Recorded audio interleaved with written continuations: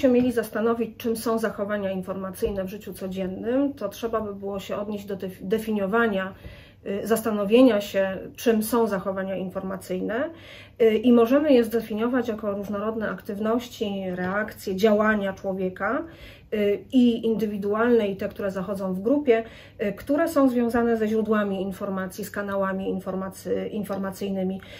I te zachowania informacyjne obejmują szereg działań związanych z tym, w jaki sposób ludzie pozyskują, poszukują, wyszukują, przeglądają Y, gromadzą, zarządzają, przekazują y, informacje w różnych kontekstach y, życiowych.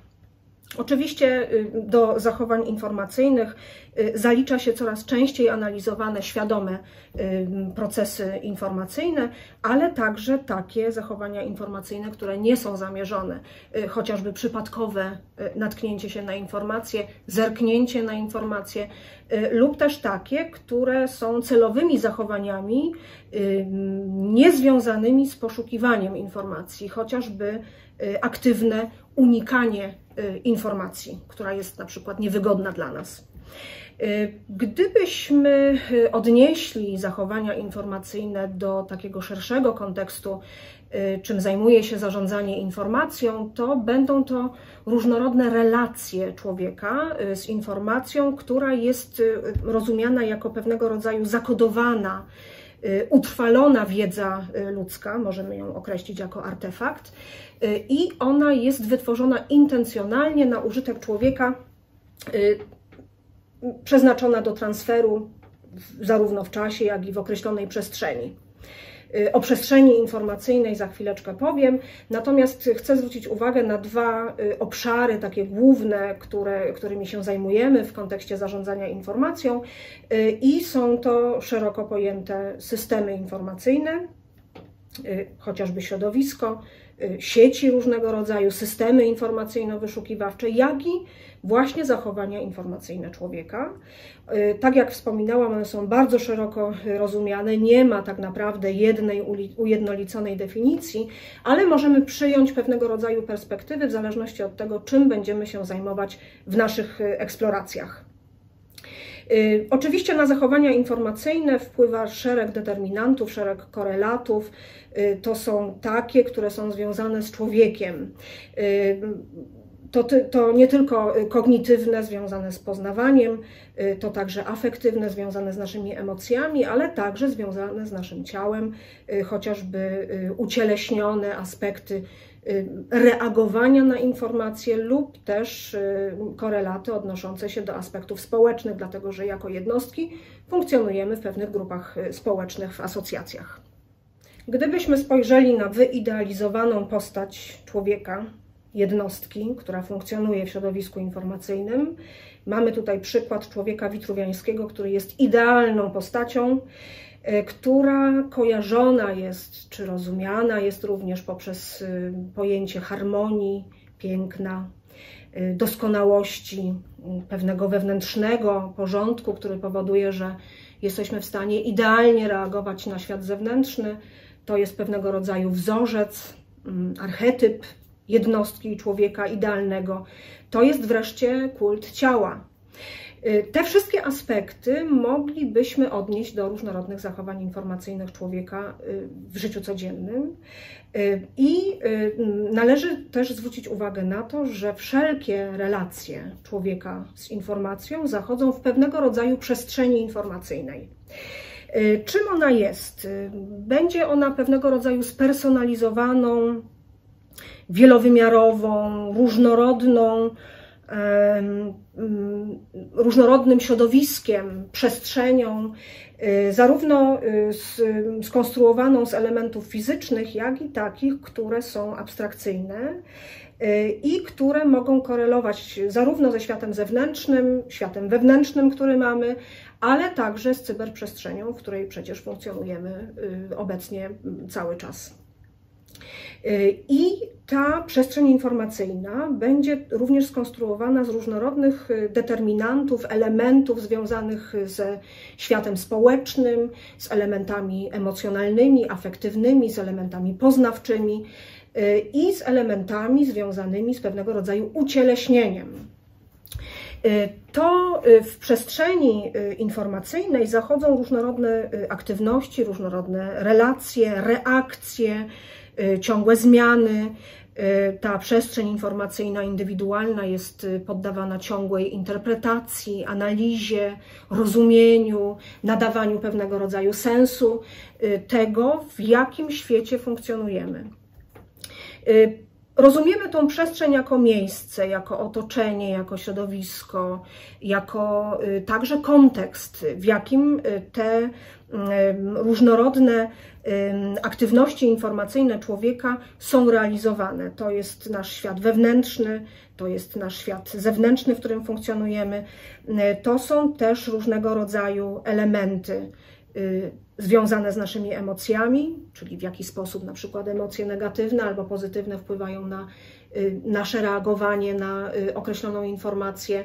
To są też elementy kognitywne, związane z poznawaniem, związane z pewnego rodzaju obrazowaniem świata, które, y, które prowadzimy właściwie w naszym, w naszym wnętrzu, w naszej głowie. Y, to są procesy związane z myśleniem, z tworzeniem wiedzy o otaczającym nas świecie.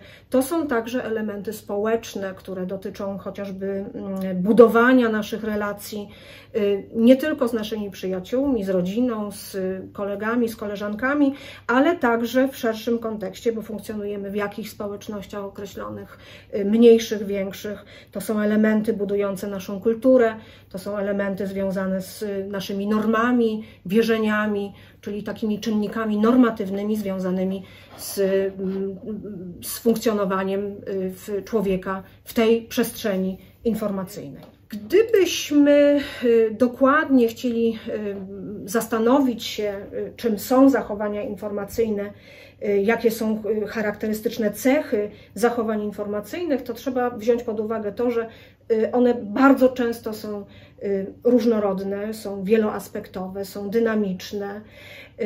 Oczywiście one stanowią pewnego rodzaju taki nadrzędny koncept, to jest tak zwany umbrella koncept, który y, związany jest z wszelkimi aktywnościami człowieka, które są związane czy odnoszą się do informacji.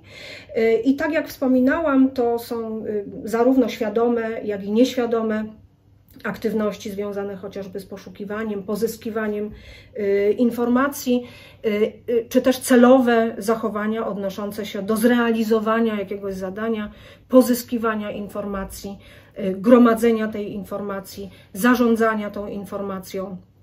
Y, wśród determinantów y, związanych z zachowaniami informacyjnymi możemy zwrócić uwagę na takie, które są związane ze środowiskiem, czyli kontekstem, bo tak jak wspominałam, możemy rozumieć przestrzeń informacyjną. Y, to jest czas, to jest lokalizacja, to są różnego rodzaju uwarunkowania społeczne. Mogą być to determinanty osobnicze, jednostkowe, związane ze mną, czyli z ja, człowiekiem. To jest doświadczenie, to jest osobowość człowieka, to jest jego temperament, to jest jego samoocena, stosunek do nowości, to jest jego wiedza o danym przedmiocie, to jest wiedza o zadaniu, to jest wiedza o różnych systemach informacyjno-wyszukiwawczych, chociażby o y, y, różnego rodzaju narzędziach związanych z mediami społecznościowymi, wyszukiwarkami, to jest jego wykształcenie, to są jego różnorodne zainteresowania, to jest także wiek. To są determinanty warunkujące Y, określone aktywności informacyjne. Y, mogą być determinanty związane chociażby z dziedziną, dyscypliną, działalnością, wiedzą, pełnioną rolą y, społeczną, pełnioną rolą zawodową, związane z wykonywaną pracą. Mogą być to także cechy pewnej sytuacji problem, problemowej. To jest problem do rozwiązania, to może być zadanie do wykonania, to może być pytanie i wówczas y, człowiek mm, podejmuje się różnorodnych aktywności związanych właśnie z realizacją określonego zadania. Y, to mogą być także cechy określonego źródła informacji, y, nie tylko na przykład Facebooka, Instagrama, wyszukiwarki, strony internetowej, ale także książki, czasopisma naukowego, serialu filmowego, wszystkiego, co możemy przyjąć, że jest źródłem informacji, to może być druga osoba, to może być dostawca tej informacji, to może być system informacyjny. I w w tym kontekście możemy również podjąć się pewnego rodzaju kategoryzacji, typologii zachowań informacyjnych, które możemy mm, podzielić zgodnie z wynikami różnych badań związanych z analizowaniem, czym są zachowania informacyjne, na takie, które są związane z określoną potrzebą informacyjną na takie, które są związane z szeroko pojętym pozyskiwaniem informacji. I tutaj mieści się, mieszczą się takie aktywności jak poszukiwanie informacji, Y, takie uświadomione, celowe bardzo często, wyszukiwanie informacji, na przykład kiedy szukamy czegoś w bazie danych, czy też szukamy czegoś na stronie serwisu informacyjnego. Y, to są różnego rodzaju aktywności związane tylko i wyłącznie na przykład z monitorowaniem jakiegoś, y, jakiejś informacji, kiedy przeglądamy wyniki Y, w, w, wyszukiwarce przeglądamy sobie stronę informacyjną, y, portal informacyjny, przeglądamy sobie Instagram, Facebook y, i w, również możemy w tym czasie, podczas realizowania tego zachowania informacyjnego, przypadkowo napotkać na jakąś określoną informację, która na przykład nas zainteresuje. Y, oprócz pozyskiwania informacji możemy wyróżnić reagowanie na informacje, również szeroko pojęte, bo jest to y, dalsze na przykład poszukiwanie informacji, bo zainteresował nas jakiś aspekt danego problemu i dalej chcemy dowiedzieć się, co, y, co y, związane jest z pewnym problemem, z pewnym aspektem, z, z, z pewnym zjawiskiem. To może być odnotowywanie istnienia jakiegoś, jakiejś informacji, Y, mówimy, że odkładamy coś y, na, y, w, gdybyśmy chcieli coś w, wykorzystać w, w, przyszłości. Na przykład zapisujemy coś w folderze, zapamiętujemy coś w, w naszej głowie i po jakimś czasie ta informacja jest dla nas bardzo istotna i chcemy ją wykorzystać. Y, to może być także mm, unikanie informacji, to może być negowanie jakiejś informacji, y, to może być ignorowanie jakiejś informacji. Y, możemy mówić w kontekście reagowania na informacje o różnego rodzaju aspektach związanych na przykład zniszczeniem jakiejś informacji albo ukrywaniem jakiejś informacji, czyli nie będę dzielić się jakąś informacją z koleżanką i kolegą, bo jest to informacja stricte dla mnie bardzo istotna i wcale nie chcę, żeby ktoś dowiedział się o takiej, a nie innej y, informacji. Y, to jest zrozumienie też informacji, włączenie właściwie do już istniejącej y, wiedzy w naszym systemie. To jest szeroko także pojęte zarządzanie zgromadzoną informacją, czyli ocena, selekcja, y, opracowanie, przetwarzanie, y, przechowywanie tej informacji w różnych, w różnych postaciach i analogowych, i cyfrowych. Y, w przypadku zachowań informacyjnych możemy także mówić o innej kategorii, takiej jak wykorzystywanie informacji, to jest też bardzo szeroki, y, taki nadrzędny koncept, który mieści w sobie na przykład dzielenie się informacją, e, przekazywanie, rozpowszechnianie tej informacji, podejmowanie decyzji w oparciu o jakąś informację. Mówimy o na przykład informacjach decyzyjnych, to jest rozwiązywanie problemu, wykonywanie jakiegoś zadania, czy też odzyskiwanie albo nadawanie sensu takiej informacji, która została nam przekazana i my właściwie y, w pewien sposób przetwarzając ją, chcemy, y, nadając jej pewien sens, przekazujemy ją dalej lub też wykorzystujemy do wykonania określonego zadania, do zniwelowania jakiegoś problemu i tak.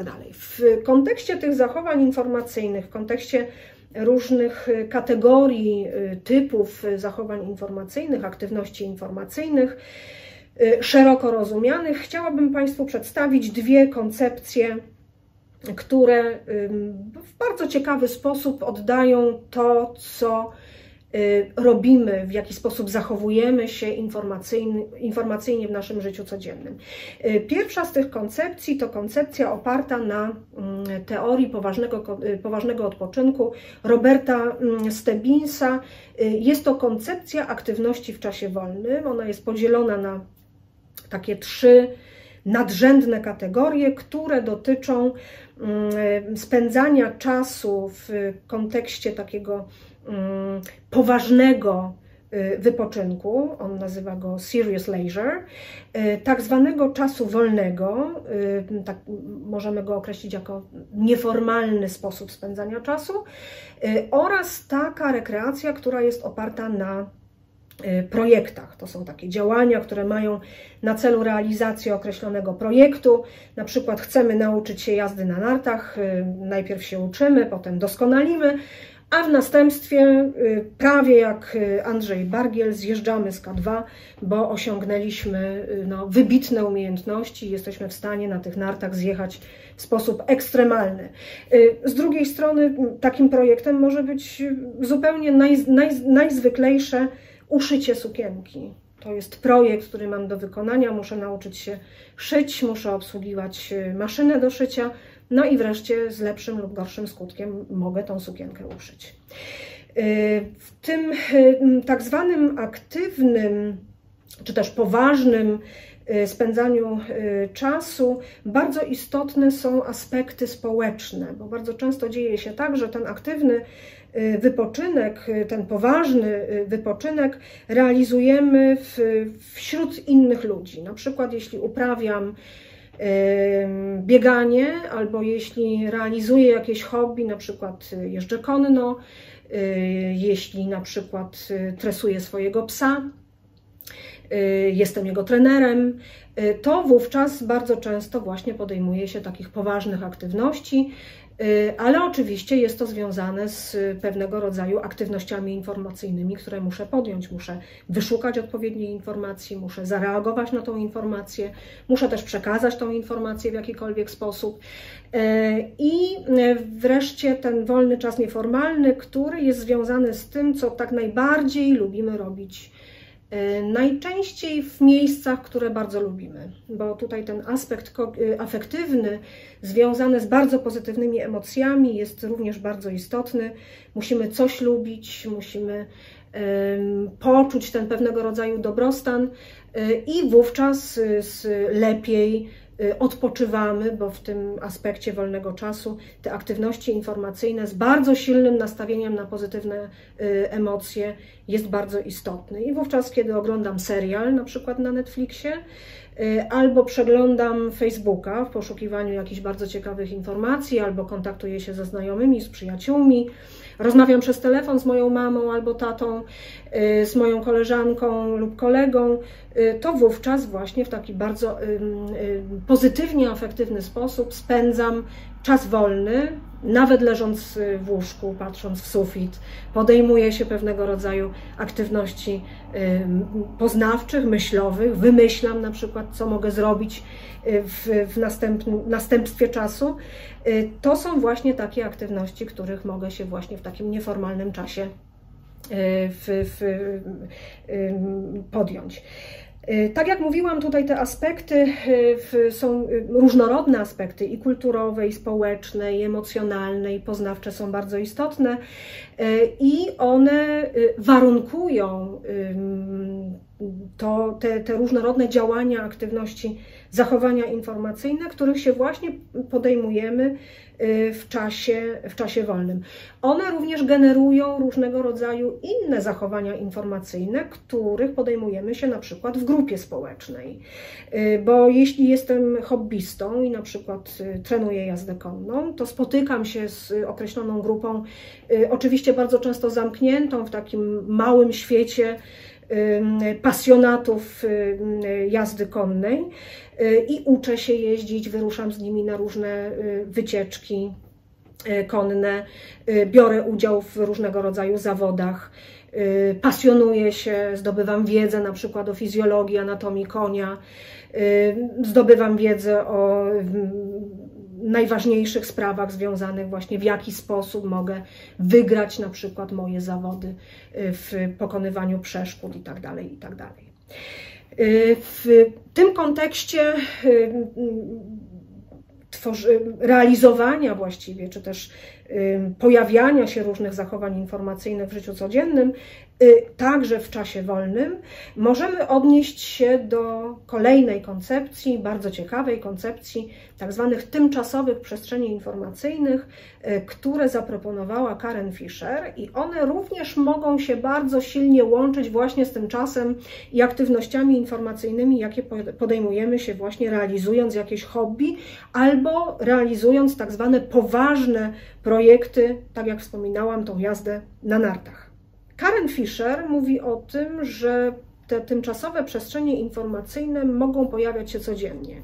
I myślę, że każdy z nas jest w stanie przypomnieć sobie albo podać pewien przykład tego, w jaki sposób uczestniczył albo kiedy uczestniczył w takiej tymczasowej przestrzeni informacyjnej. Y, ja mam w głowie przykład lotu samolotem, dość długiego, 11-godzinnego, kiedy w samolocie, czyli w pewnym miejscu, to jest ta przestrzeń lokalizacja.